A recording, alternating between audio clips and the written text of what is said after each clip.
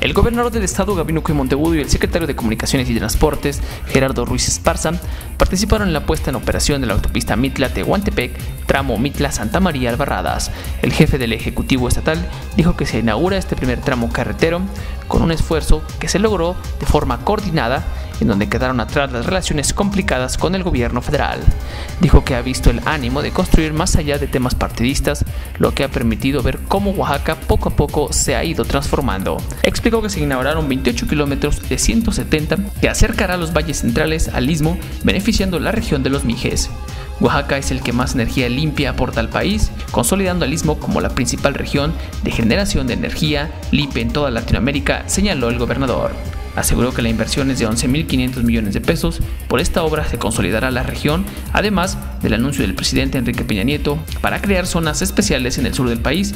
Oaxaca está contemplado como uno de los estados que participará dentro de esta zona. Pedirá al presidente que inaugure los 170 kilómetros de esta autopista. Son 11.000 millones de pesos de inversión en favor del estado, con beneficio a las comunidades que incluye una visión más amplia. Aseguró que otro compromiso es la cartera hacia la costa. El compromiso es que se concluya en junio del 2016.